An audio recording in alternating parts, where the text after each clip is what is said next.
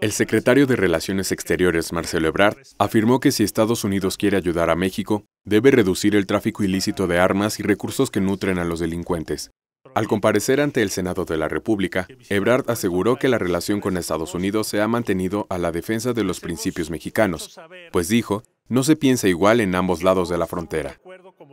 El primer motivo de atención en la política exterior mexicana ha sido la defensa de nuestros intereses, proyectos y principios en muy diversos foros, desde la presentación de la candidatura de México al Consejo de Seguridad de la Organización de las Naciones Unidas, que ha merecido el, respaldo de toda América Latina y el Caribe en primerísimo lugar y de otras regiones del mundo, hasta la presentación y defensa de nuestros puntos de vista y los intereses de México respecto a la relación bilateral con los Estados Unidos.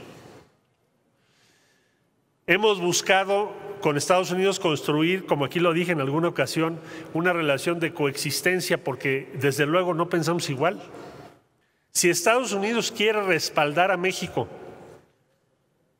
para la batalla que estamos dando, que están dando las autoridades correspondientes y los gobiernos de los estados y los gobiernos municipales y las fiscalías en contra de la delincuencia, que reduzca el tráfico ilícito de armas hacia México, porque en, armas en México es un delito ingresar con armas que no estén registradas. Sí hay una obligación corresponsable. Lo mismo los recursos que acabo de referir. Esa es la mejor manera de ayudar a México, no designando organizaciones como si fuesen terroristas. Ebrard señaló que en la próxima visita que realizará a México el procurador de Estados Unidos, William Barr, expondrá su crítica al posicionamiento de denominar como terroristas a los grupos delincuenciales que operan en México.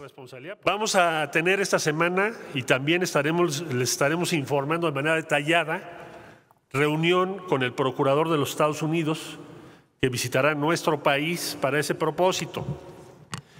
Les hemos hecho saber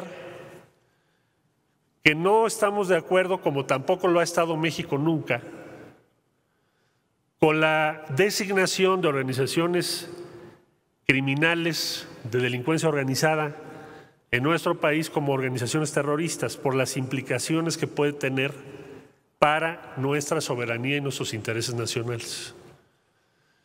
Nunca ha sucedido que se designe así a una organización de delincuencia organizada. Solamente se ha usado cuando hay motivos políticos o religiosos. Una designación de esa naturaleza provocaría que se debilite la cooperación entre ambos países, que por cierto es la cooperación más intensa y compleja, diría yo, en materia de seguridad probablemente de todo el mundo, y más en estos momentos. Espero, y les estaré informando sobre ello, que el procurador y el gobierno de los Estados Unidos coincida con nosotros en esto. La comparecencia se realiza este martes, luego que el pasado primero de octubre, Ebrard no asistió debido a la enfermedad de su padre, quien falleció unos días después. Somos optimistas, había quien pensar.